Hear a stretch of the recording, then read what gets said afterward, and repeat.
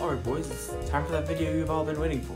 Thermite. So, if my analytics are correct, then people who watch this also watch Prussian Blue. So, Mr. Blue, if you're watching this, I'm not saying anything, but if you want to collab with yours truly, I'm up for it, you know? You could find, you could figure something out. Anyways, Thermite is like if you were to take the two most NPC chemicals of all time, mix them up, and you get a sort of cool, sort of deadly reaction.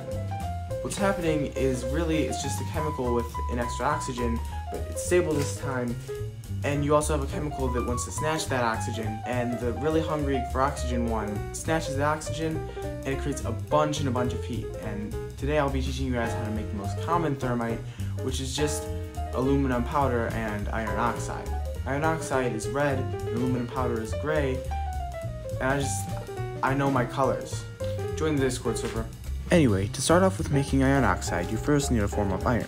I use steel wool because of its thin strand-like fibers, making its surface area very high, allowing it to make contact with the other reactants. First, I measure out 20 grams of iron in the form of steel wool, and I slam it into the beaker alongside 100 milliliters of water and 100 milliliters of 12 molar 37% hydrochloric acid, aka the greatest drink of all time.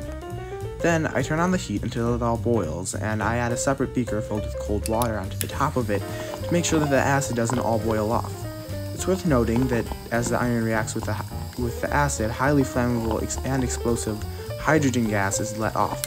For this reason, you should probably do this in a fume hood, outside, or you could just get good and learn how to breathe in hydrogen gas. You can see the flammable properties of the hydrogen gas as I light it on fire with a blowtorch. Once all of my iron is dissolved, it'll have the solution will have a nice green color, and this is because of ferric chloride complex. And to turn this into iron oxide, all you need to do is add oxygen. This can be done by pumping air through the solution with an aquarium pump, but because of my laziness, I'm just going to dump in a bunch of hydrogen peroxide, and as I do this, the solution takes a reddish color.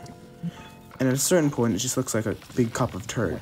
Once this is done, I neutralize the acid with sodium bicarbonate, or more commonly known as baking soda. Once the solution has around the pH of 7, you can heat it up and evaporate off all the water.